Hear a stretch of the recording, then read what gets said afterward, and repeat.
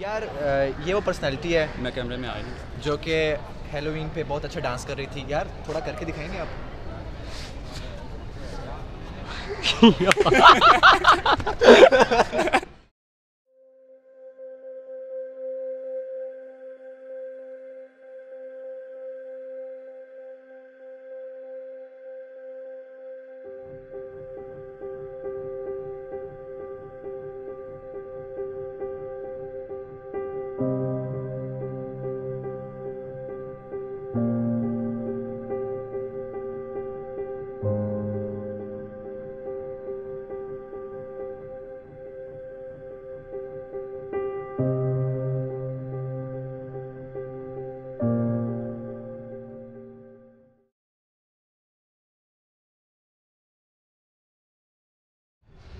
तो यूनिवर्सिटी बहुत डेड चल रही थी और हर जगह ऐसा लगता था कि वीराना ही वीराना है। यूनिवर्सिटी आओ तो ऐसा लगता था बंदा किसी रेगिस्तान में आ गया।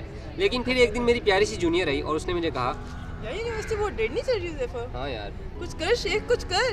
तो फिर मैंने सोचा कि कुछ किया जाए और हमने एक इवेंट ऑर्गेनाइज़ किया जिसमें उसामा जट जो कि मेरा क्लास फेलो है वो मेरे साथ आया और उसने आके मेरे साथ इवेंट की प्रिपरेशन स्टार्ट करवाई। सबसे पहले हमने अपने क्यूट से सीनियर से बात की और मिलके हम प्रिंसिपल के पास गए और दो दिन के इवेंट की इजाज़त ली। तो मुझे जैफ़ी की कॉल आई कि ज़ुबैर भाई हम कोई ऐसा इवेंट करना चाह रहे हैं यूनिवर्सिटी में तो आपके गाइडेंस की ज़रूरत है। तो एज अ सीनियर हम पहले से काफ़ी इवेंट्स कर, कर रहे हैं करा चुके हैं यूनिवर्सिटी में। तो इस बार मैं यही चाह रहा था कि अब जूनियर्स आगे आए और जूनियर्स लीड करे जूनियर्स इवेंट्स संभाल रहे ठीक है? तो मैंने उनसे एग्री किया और फिर हमने काम शुरू किया इस पर। Hello I am Malaika I am Fizan Khan तो हम लोग बेसिकली मैनेजमेंट की टीम से थे और हमारे साथ दो और बंदे थे इकराम और मुदस्सर। और हम चार लोगों की मैनेजमेंट की टीम बहुत ज़्यादा कोऑपरेटिव थी और हमने बाद में बच्चे सिलेक्ट करने थे फ़र्स्ट ईयर से। और हम हर डिपार्टमेंट से अपने अपने बच्चे जैसे कि मैं टेक्सटाइल से हूँ तो मैंने टेक्सटाइल सेलेक्ट किए ग्राफिक और आर्की और पेंटिंग से भी ऐसे ही हुआ। उसके अलावा हमने आइडियाज़ का मसला बिल्कुल नहीं हुआ। फ़र्स्ट ईयर ने बहुत इम्प्रेस किया माशाल्लाह एंड वी एंजॉयड इट तो इवेंट की परमिशन लेने के लिए मुझे चाहिए थी एप्लीकेशन और एप्लीकेशन चाहिए थी मुझे इंग्लिश में जो कि मेरी बिल्कुल भी अच्छी नहीं है। तो मैंने आपको पता है किसकी इंग्लिश अच्छी है? मेरी। वैसे अच्छा है। तो उसके लिए मैंने ढूंढी एक इंग्लिश वूमेन अच्छा तो मैं थी वो इंग्लिश लड़की जिससे सारी एप्लीकेशन लिखी और जिसने गुनाह सर पे लिया था, एक कल्चरल फेस्ट कराना है और हॉलोवीन नाइट करवानी है। सारा कुछ सारी एप्लीकेशंस मैंने सारी लिखी थी और फिर उसके बाद इवेंट की तैयारियाँ शुरू हो गई थी एप्लीकेशन जब एक्सेप्ट हो गई। तो इस इवेंट को कामयाब बनाने के लिए मुझे एक ऐसे इंसान की ज़रूरत थी जो कि पूरे इवेंट में मेरा साथ दे सके और जिसके साथ में मिलकर इस- इवेंट को अच्छे तरीके से करवा सकूँ। और वह एक ही बंदा यानी कि मियाँ अरसला। हे गाइस अस्सलाम वालेकुम कैसे हैं आप सब? तो जैसा कि कोरोना के बाद यूनिवर्सिटी में कोई इवेंट नहीं हुआ तो हम चाह रहे थे कि जूनियर्स आए हुए हैं तो उनकी भी भरपूर फरमाइश थी। कि अभी कुछ ऐसा इवेंट हो कि जिसमें ज़रा हल्ला गुल्ला हो इन्जॉय कर सकें। तो इसके लिए परमिशन ली है सारे एचओडी से प्रिंसिपल से। तो देखिए अब अच्छा इवेंट इंशाल्लाह करवाएँगे आप।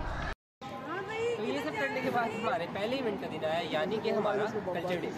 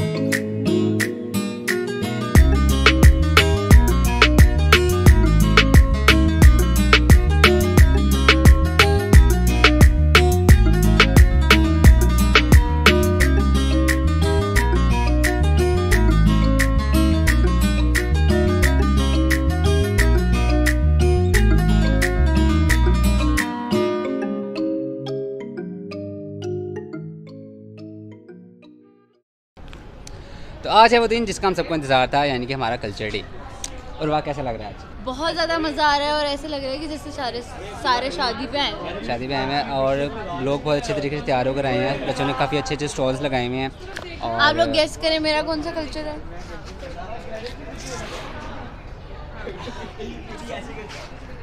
तो कमेंट्स में बताएँ कि कौन सा कल्चर है। और मैं तो आपको पता लग ही गया होगा कि मेरा कौन सा कल्चर है। और साथ में हमारे पास हैं हमारी बहुत सी क्यूट सी प्यारी सी लाइबा। लाइबा बहुत अच्छी लग रही है। थैंक यू कैसा मज़ा आ रहा है? क्या आप बताना चाहेंगे कि आपका कौन सा कल्चर है? मेरा है पठान। पठानी। जूस नहीं पीना मेरा? यार ये तो गलत हो। हम आपको दिखाते हैं कोर्टयार्ड के मनाजिर और चले चलते हैं। ले जी ये जिमी बॉय है। ये पठान है हमारा और इसमें फुल कश्मीरी चाय बेच बेच के नोटू शोटू को माल ही हैं। और ये मुझे अभी चाय पिलाने वाला है। एक फ्री में इससे आपने स्टॉल का टैक्स लिया ये टैक्स देगा अभी ये सब कुछ देगा। एक रुपया तो दे दे यार है नहीं पास कैसे हो ऑफ़िस ऑफ़िस मज़ा आया? और ये हैं कुछ हमारे प्यारे प्यारे जूनियर्स जिन्होंने मज़े मज़े की चीज़ लगाई थी और अब उन्होंने पैकअप कर लिया। है हमने सब बेच दिया हमने सब बेच दिया। सब बेच दिया कितनी कमाई हो गई है? हम बस अभी आपके साथ इनकम टैक्स लगाने वाले हैं। और आपने स्टॉल किस चीज़ का लगाया था? सैंडविचेस रशियन सैलेड और क्या था? गया soup soup main item soup कहाँ है? पड़ा है? तो ही नाइस कल लगाना है ना? चलो ठीक है। ओके डन तो अभी है हमारे साथ आमना अहमद। आमना अहमद ने क्या लगाया आज? मैंने लगाई हुई है embroidery items like embroidered jewellery and embroidered तो कितना पैसा कमा लिया फिर आज? पैसा ही पैसा कमाया आज। पैसा ही पैसा। आपको पता है हमने जो जिन लोगों ने ज़्यादा पैसे कमाए उनको इनकम टैक्स भी लगाना है। नहीं नहीं मैंने इतना नहीं कमाया वैसे। कितना कमा लिया? कम ही कमाया। कम कमा लिया। चलो ठीक है। हाँ टैक्स ना देना। मज़ा आया? जी बहुत कैसा experience था? बहुत अच्छा एक्सपीरियंस था। चलो ठीक है कल स्टॉल लगाना है? नहीं। मतलब एक्सपीरियंस अच्छा नहीं था? हराम हराम हराम। मेरी तरह हु इज़ हियर ये हराम वाला है।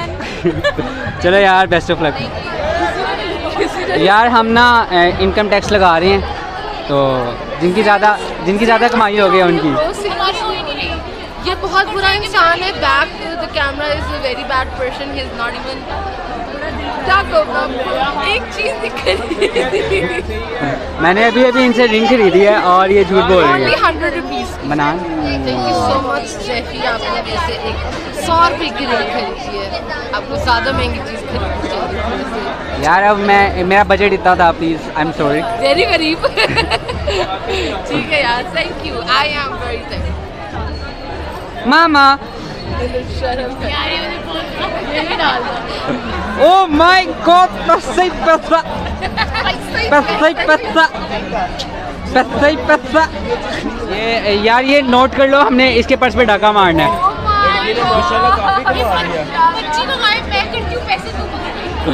ओके गुड तो ये था हमारा कल्चर फेस्टिवल जो कि अल्हम्दुलिल्लाह बहुत अच्छा गुजर गया हम सबने बहुत इंजॉय किया। लेकिन हमारा नेक्स्ट डे था वेस्टर्न कार्निवल और वेस्टर्न कार्निवल की प्रिपरेशन के लिए हमारे पास सिर्फ़ और सिर्फ़ सात घंटे थे। लेकिन वो टाइम कैसे गुजरा, हमें पता ही नहीं चला।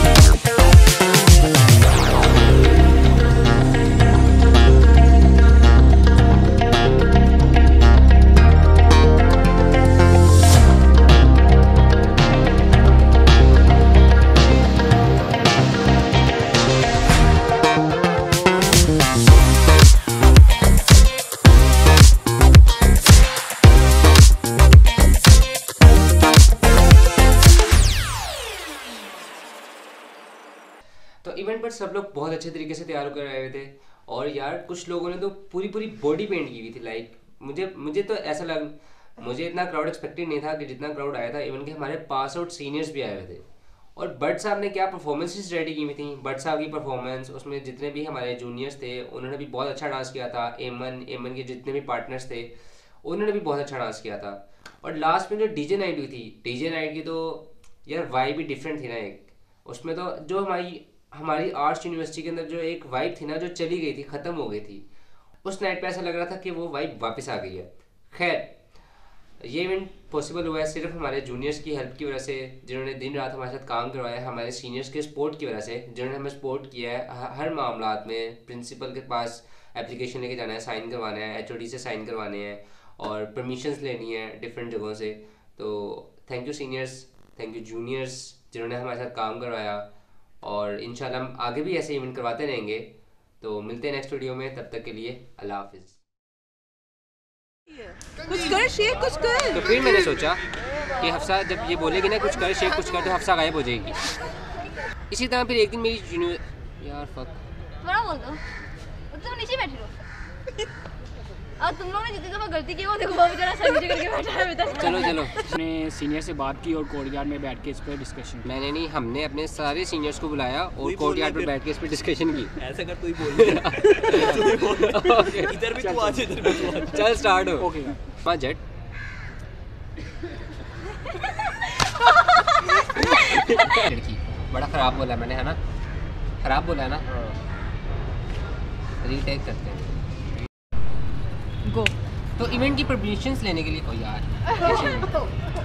आप ना हंसा रहे हो मुझे चलो ना कट नहीं करेंगे तुम भी तो मैनेजमेंट में जो ਸਾਰੇ ਵੇਖਣ ਲੱਗ ਜਾਂਦੇ ਹੋ ਯਾਰ ਐ ਜੀ ਤੇ ਪਤਾ ਲੱਗਦਾ ਇੰਟਰਵਿਊ ਦਾ ਅੱਛਾ, ਕਿ ਅੱਛਾ। ਕਿੰਨਾ ਖੜਾ ਹੁੰਦਾ